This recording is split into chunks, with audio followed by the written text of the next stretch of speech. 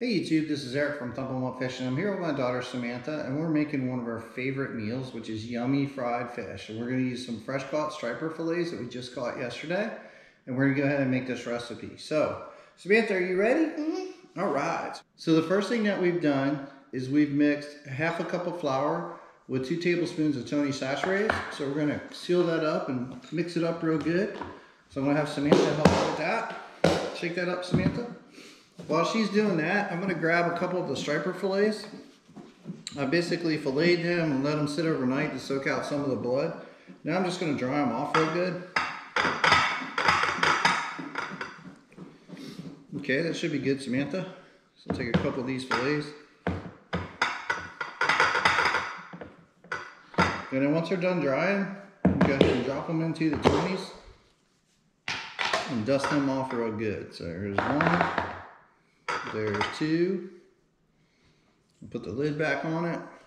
You can also cut these up in smaller pieces to make those a little bit easier to manage going forward. But we've got plenty of fish and uh, we're just gonna leave them in big pieces today.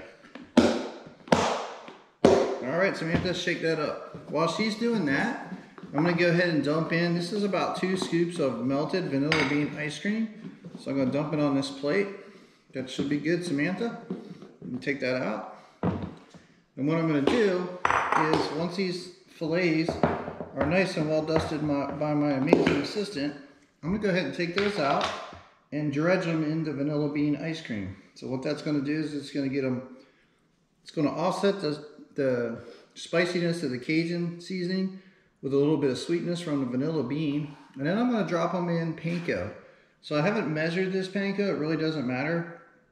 I'm just using enough panko to cover up the fish. But I want to get them nice and dredged here and then put them into this container so we can shake them up. I'll go ahead and cover this one up, hand it to my amazing assistant.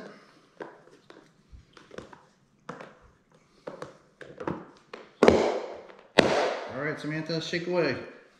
While she's doing that, I'll just keep working on a few more pieces of fish.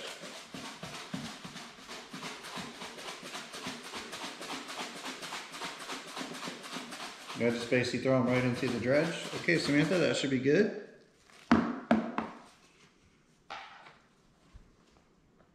Okay, so now the panko's all fried up or battered up. So what I'll do is I'll take it out. Not yet, that one's not ready yet. And that's what we'll go ahead and fry. So you can see it's covered in panko. Um, nice and well coated, well breaded and that'll be good for frying later on tonight. So if you can see the fillets are all covered in uh, panko, then we're gonna go ahead and finish battering up this fish and we'll be ready to fry it later on. So now you got the fish all battered up. It's got the panko coating on it. It's ready to go. Got the plate. So once we fry it, we're getting ready to put it on a plate and let it drain. And as you can see, we've got a pan full of olive oil that's heating up on the stove. So once the oil gets heated up, we'll go ahead and start frying the fish. You can see we've dropped some fish into the oil and it's cooking. It uh, cooks pretty fast, takes about one minute on each side to cook. And then when it's done, there'll be a nice crispy golden brown like the ones you see over here.